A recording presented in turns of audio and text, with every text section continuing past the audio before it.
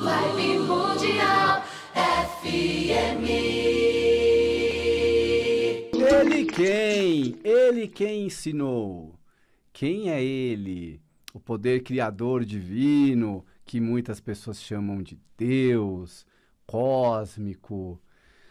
Eu espero que esse poder criador esteja comigo e esteja com você que está me ouvindo agora nessa sexta-feira. Está no ar mais um programa Momento. Eu sou Jesse Navarro aqui pela sua Vibe Mundial FM. Hoje eu vou ler o baralho cigano para você que ligar aqui ao vivo no 3171 0221 ou 3262 4490. Eu gostaria muito de agradecer a esse poder criador pela minha saúde, agradecer por ter sobrevivido à pandemia. Acredito, né, que não vou mais ser que não vou morrer mais de coronavírus, uma vez que eu fui vacinado. Mesmo assim a gente vê que existe reinfecção, né? Mesmo assim, eu sou grato. Estou com saúde, estou bem, estou em contato com vocês aqui por essa rádio maravilhosa. Gente, vamos abrir espaço nas nossas vidas para a gratidão. É um sentimento muito bonito e às vezes difícil de acessar, porque a gente está com raiva de tanta coisa, tanta insatisfação, tanta desorganização, os problemas, as contas, os boletos, os relacionamentos. Muitas vezes nos sentimos incompreendidos, inapropriados. E quando a gente tem esse sentimento de gratidão verdadeiro, a tendência é a gente desanimar, falar, ah, não vou continuar tendo essa gratidão, não, é, é, é chaveco, eu não tô grato é nada, no fundo eu tô com raiva. Insiste, insiste, continua dizendo gratidão. Quando você sentir essa gratidão no seu coração, você vai entender do que eu estou falando. Ou então você vai poder ainda me contar sobre como é estar grato pela vida, falando comigo aqui pela rádio ou pelas várias formas de entrar em contato comigo. Eu estou em todas as redes sociais, estou no YouTube, estou no Instagram, estou no Facebook. Mas o que eu gosto mais é de estar ao vivo na rádio. Quem me conhece sabe do meu amor ao microfone, meu amor à interação com o ouvinte. Então, vou esperar a sua ligação aqui. Já vou atender o ouvinte para começar nosso programa de hoje. Vamos ver quem está na linha para falar com Jesse Navarro ao vivo. Alô? Alô? Olá! Olá, boa noite. Quem Boa fala? noite, nossa! Nem esperava. Olha só, conseguiu. Na primeira. Nossa, cara, que legal. Gratidão. Amém. Eu também, na hora que você estava falando de gratidão, eu falei, olha, que não pensei nisso. E você viu que a, a ideia de gratidão ativou no seu cérebro e você já conseguiu Ativou? ligar direto para o primeiro ouvinte a falar comigo hoje. É, o meu nome é Vani, eu já falei com você. Oi, eu gostaria Vani. de falar sobre o meu neto e minha neta, pode ser? Sim. O meu neto é Matheus Alonso de Oliveira, ele tem 12 anos. Ele é do dia 9 do 2. de Como 2000. chama seu neto? Matheus, Ele tem quantos anos? 12. E tem a Isabela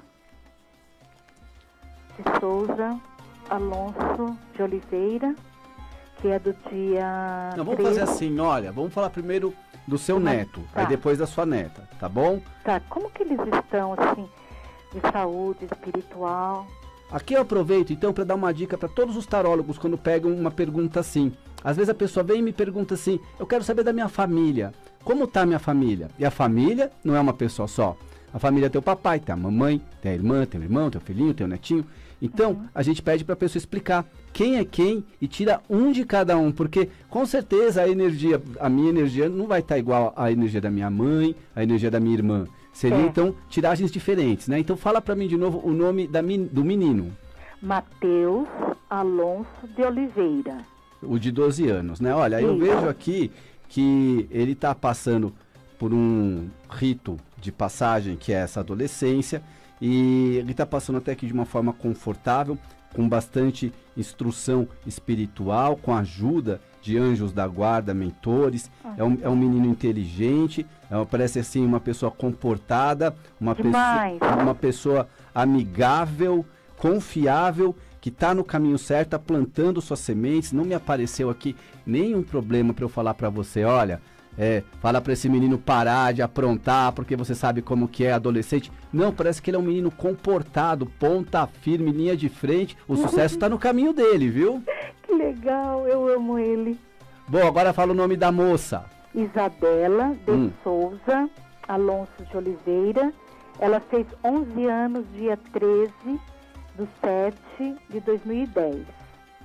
Ele estava com muitos ciúmes no aniversário dela. A Isabela fez aniversário, né? Ela do dia Sim. 13 acabou de sair de um inferno astral. Uma Você sabe o que é inferno astral? Sim. Inferno astral é um mês antes do seu aniversário.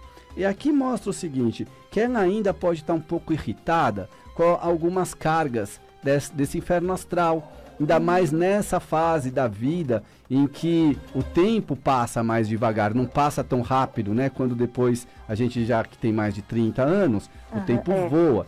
Aqui não, então cada mês é, é muito importante. Cada dia é muito importante. E cada inferno astral parece uma eternidade. Então eu vejo aqui que ela pode ter tido algum desgaste, mas coisa de, de menina, co- coisa feminina, e que ela continua é, com um pouco de preocupação, com medo de algumas coisas que ela enfrentou nesse período de inferno astral. E ainda não caiu a ficha dela, que já passou. Mas ela vai ver. Eu Então, acho que porque o irmão tá com um pouco de ciúmes da festa dela. Eu acho também. é, eu vejo então aqui a, a presença desse irmão sendo visto como se fosse um homem maduro já, né? E não uma criança que é. nossa, é mesmo. Eu que cuidei dele. Olha, é ciúmes bobo, não veio nenhuma carta de advertência para nenhum perigo real, eles estão bem, viu? Queria agradecer sua participação aqui no programa. Um bom fim de semana para você. Obrigada, um beijo. Beijo, valeu.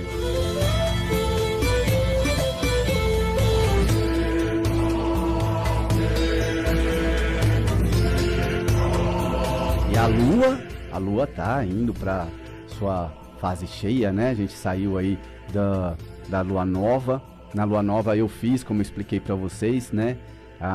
O ritual de Hecate e eu estou fazendo, né? Todas as noites dando nó no meu cordão vermelho. Se você perdeu o bonde, né? Dessa fase da lua, espere a próxima lua nova para começar esse ritual que eu ensino gratuitamente para todas as pessoas. Eu ensino de bom coração.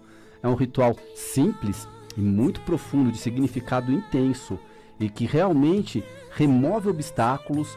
Sabe quando a gente chega naquela fase da vida que fala assim: eu estou precisando desobstruir meus caminhos, desbloquear tudo que está me impedindo de crescer. Então, você com a ajuda dessa divindade lunar, você faz essa magia, essa magia é simples de fazer, você precisa de um cordãozinho vermelho e entrar em contato comigo para te ensinar como é que faz. Particularmente, eu não vou cobrar nada para te ensinar isso. Entre em contato comigo tanto para falar sobre isso quanto para falar sobre consulta, atendimento espiritual, terapêutico, é, o baralho cigano, o tarô de Marsella. Vou passar o meu contato, eu sou Jesse Navarro, me apresentando mais uma vez aqui. 11 94233 6100 é um número para você entrar em contato comigo e eu vou te passar gratuitamente esse ritual de EKT. E agora vamos atender mais ouvinte. Vamos ver quem está na linha. Alô? Alô? Boa noite, quem fala? A Mayra? Mayra, fala de onde? De Indaiatuba. Mayra, lindo nome, pode fazer sua pergunta. Eu queria saber se minha saúde vai melhorar. Que eu não tô conseguindo comer direito. O que você tem, Mayra? Que você já, porque eu sinto assim que Anemia. anemia, né? Aham. Você não sente fome. Não. Tá bom. E vou te- fraqueza também. Tô com muita fraqueza. E fraqueza, né? É.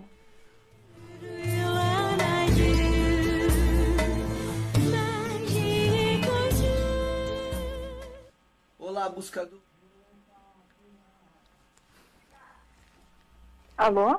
Alô, ah, fica tranquila, viu, Mayra?